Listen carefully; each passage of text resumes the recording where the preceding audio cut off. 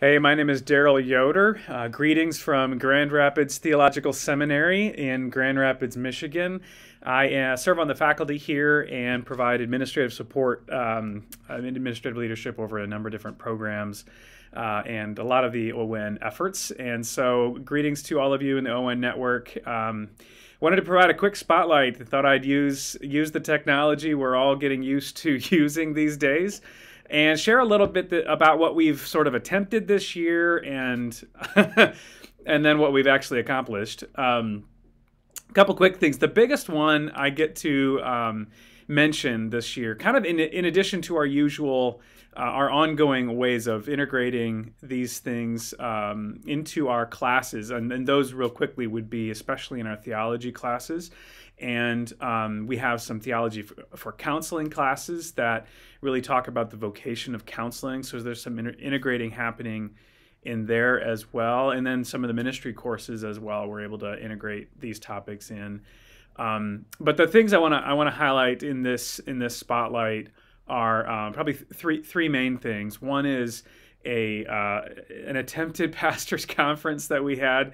I'll tell you about um, an attempted uh, project with a local church that was going to be really really cool. And when we get to do it we, it will be really cool and i think really strategic.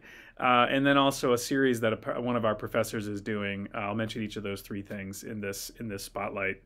So the first thing uh, one of my hats at, at grand rapids theological seminary that i've talked about uh, written about in previous spotlights for us is our talking points program where i'm able to hold conferences or develop resources that help uh, pastors, ministry leaders, students uh, engage in difficult difficult topics, often really dicey, really dicey topics that have different perspectives, and try to lean into it from a distinctly theological perspective um, to bring God's word to bear on really culturally relevant issues. Um, and this year, what we did with our Talking Points program was we um, leveraged our conference as the as the sort of climax as part of what is called the GRTS Fiscal Literacy Project, and uh, that is supported by a grant from the Lilly Foundation uh, through their Economic Challenges Facing Future Ministers initiative.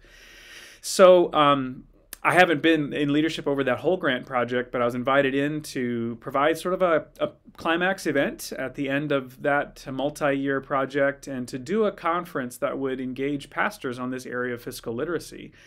And um, but but we wanted to make it within the realm um, of pastoral well being, that broader topic of pastoral well being, and fiscal literacy being a piece of that. Um, and really kind of the realities of what pastors face for their own souls, their own hearts, their own well-being, and also issues around identity and calling, um, which are which is really similar to the kind of vocational questions, right, that we engage uh, outside the church as well with with this conversation. And so, what we did, we planned a conference. it was supposed to happen on March 17th of this year and our state went into lockdown about four days before that, four or five days uh, before that, and we had to cancel the conference. The theme of the conference was resilience, finding wholeness in ministry by way of the cross. Um, and I'll provide links to this, which you should be able to get to uh, through this spotlight, through the text. Um, resilience, finding wholeness in ministry by way of the cross. We wanted to engage pastors in thinking about how does a pastor stay resilient, stay healthy? How does a pastor practice self care and prioritize their own well being, their whole, own wholeness, um, when they're in a calling that is, by definition, self sacrificial? Right? You're supposed to, we're supposed to be, and we are pouring our, our lives out for others and being there for others to support others so how does one shift that and think about caring for your own soul? And and what is the cross? How, how, does how does carrying our cross relate to that, right? And can we find wholeness? We believe we can find wholeness in ministry by way of the cross through through engaging with Christ and through walking uh, with him and following his lead of, of picking up the cross, our crosses, and and leading others to do the same. So we had uh, several different speakers lined up. Um, Matt Bloom was one of our featured speakers, Dr. Matt Bloom from Notre Dame. His work around flourishing in ministry, flourishing at work, was was really really is really really helpful and was really a key part of that um, of that effort. And um, as well as uh, the work done by the folks who published uh, Resilient Ministry and the Politics of Ministry, that would be Bob, Dr. Bob Burns, Dr. D- uh, Donald Guthrie and uh, Dr. Tasha Chapman, and just their research around what helps pastors be resilient, what helps pastors thrive, um, survive, and thrive in ministry. And then we had a, uh, a, theologian or a pastoral care professor and a psychologist here in, in Grand Rapids, uh, Danjuma Gibson, pastor, uh, former pastor. He teaches at Calvin Seminary down the street from us had him talking about his work on Frederick Douglass. How did how did someone like Frederick Douglass, in, in the time that he lived, with the experience he had, everything from slavery to freedom to civil war to reconstruction, how did he? It just sort of seems like he maintained a sense of whole, a sense of who he is, a sense of of robust sense of, of self um, and how did he do that and what can we maybe take away from his life so he he was going to speak and then and then we also had dr uh, ingrid faro and some of her work on suffering uh, she's at uh, northern seminary um, and how how just a theology of suffering and, and the role of suffering uh, can help us understand these things. So that was our plan. It was a profound plan. we had we had hundreds of people registered to come, and then we had to cancel the conference. So I'm, I'm, describing all of that just to say we were able to then make some changes, and we did reclaim and are still reclaiming some of that work. Um, uh, over the summer, we just worked on how do we, what if we unbundled this conference? Um, and so what we what we decided to do, meaning unbundled, meaning all of those speakers, uh, as well as uh, the the the prayer introduction that I had planned. Um, then I was able to add a couple of more speakers that I didn't have space for in one day. We've unbundled that into a series of virtual events that we've just offered for free. And so this is kind of what everybody's been doing. Uh, but um, it's been really really interesting and it's been a learning experience and we've had a good really good response so it's we we turned it into nine virtual events and we actually just did our eighth one this week with uh, Dr. Chuck DeGroat from Western Seminary, uh, uh, author of the book Wholeheartedness, um, and a more recent book on narcissism in the church, uh, which is an interesting topic to think about for pastors. Um, and then we're going to close our series with Ruth Haley Barton in a few weeks at the end of this month. Uh, of, of, November uh, on her her topic, her book, "Strengthening the Soul of Your Leadership."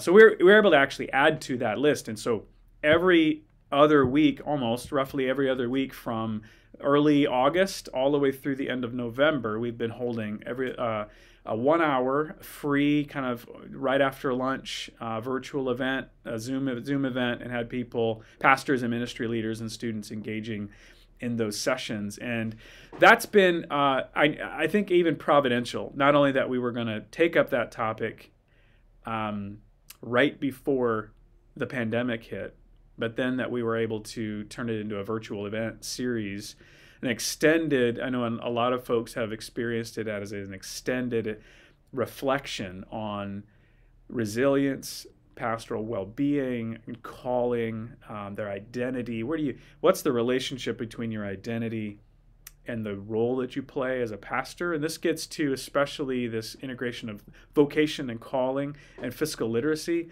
um, where uh, the way uh, the Burns and Guthrie and Chapman talk about in resilient ministry, where there are aspects of leadership and administration that are inherent to the pastoral call, but often feel out.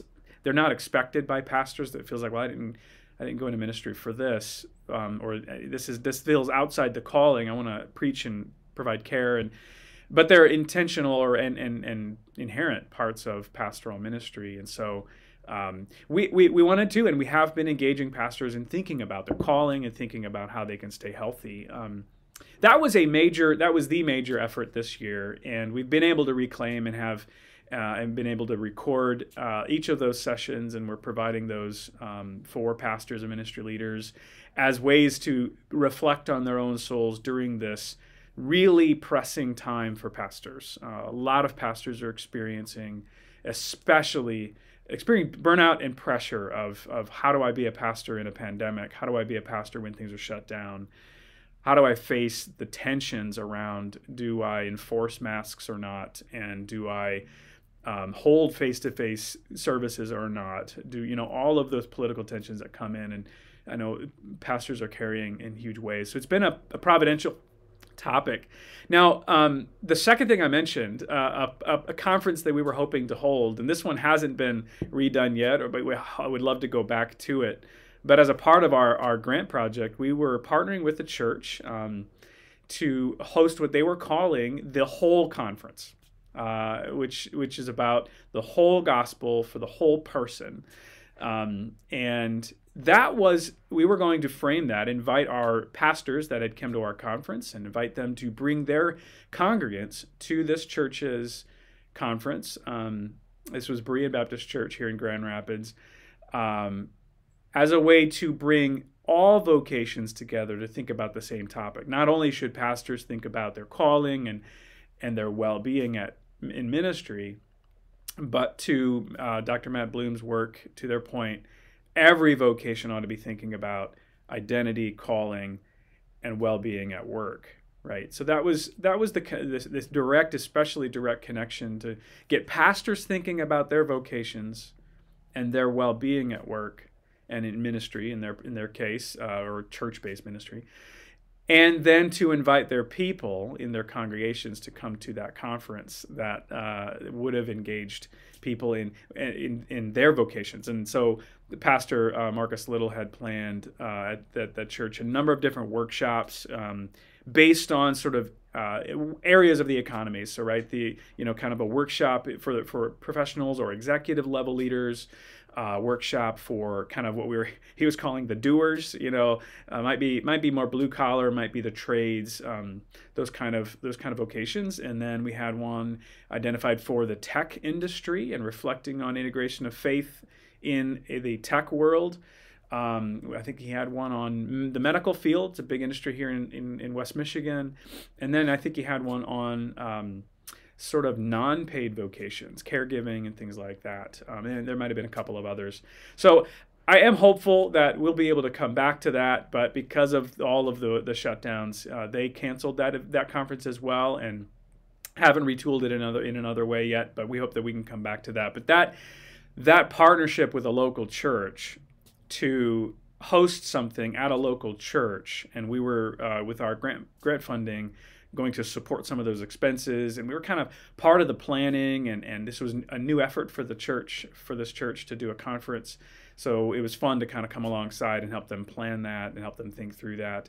And I'd, I, I hope to be able to do that kind of a project in the future. It was a it was a, maybe a maybe a suggested model, a way that we can partner with the church. Um, and I know other schools do these kinds of things as well. But that was so that's the two main uh, two main things throughout this year. Um, some some accomplishment out of it and some disappointment.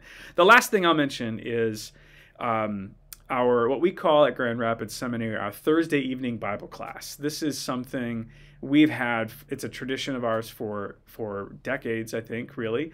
Um, every every fall, there's a series. One of our professors picks up a topic and brings some of their teaching, some of their research in a Bible class, a weekly Bible class, free and open to the public. And um, so um, this year's picks up it, I, what I loved was our one of our theology professors, Dr. Kenneth Reed, uh, picked up on some of the things we've been working on um, that I've talked about in the past around in, in our spotlight. So as we've thought about the integration of faith and work and economics and or we've uh, and, and, justice as we've thought about whole life discipleship and, and issues that flow out of that related to justice we've we've done a number of different uh, made a number of different efforts to reflect on that. Uh, a few years ago many of you might remember our everyday works curriculum that came out where we talked about uh, faith and work and just economics and, and, its implications for how we engage poverty and justice issues. Um, and and then this last two years couple last couple of years uh, prior to this year, we were we did a series on justice and unity, reflecting theologically about issues related to justice and divisions in the church, and how can we sort of heal uh, divisions within the church, especially along racial and ethnic lines and gender gender questions. Um, and then this year, uh, what Dr. Reed has done is he's he's picked up a series on, or he's been doing a series on. I want to get the title right. Um, Biblical foundations for justice, understanding what the Bible the Bible's teaching about justice. And so, just a, a quick description that he wrote Our nation is facing an insurmountable crisis really, regarding social and racial justice. While many voices are proclaiming their views from sociological and political perspectives, both conservative and liberal, uh, many are not appealing to Scripture. Right. So, so what he wanted to do with this series, uh, this series will survey the Bible's teachings about public justice and seek to answer the question what does the Bible teach about justice and how should Christians respond in light of it? So that's been a series he's been in the middle of for the last number of weeks. And he had to do something new too. He had to go virtual. And so he's been doing it through uh, Zoom, I think, and uh, had a number of people engaging with him. So none of these things, the formatting, having to go virtual, is none of it's ideal for I think any of us. But uh, it's been fun to see uh, us continue to work on these kind of topics and thinking about it. What, is, what does whole life discipleship look like, and how can we help pastors and ministry leaders engage these things? Uh, so, in addition, like I said, in addition to our integration and classwork, those are some of the uh, sort of programmatic things that we've done this last year and uh, saw some success and saw some real setbacks, which I know a lot of my colleagues at other schools are facing some, some of the same things. So I, I hope that's a helpful spotlight. Uh, greetings to all of you. Hope to see you again.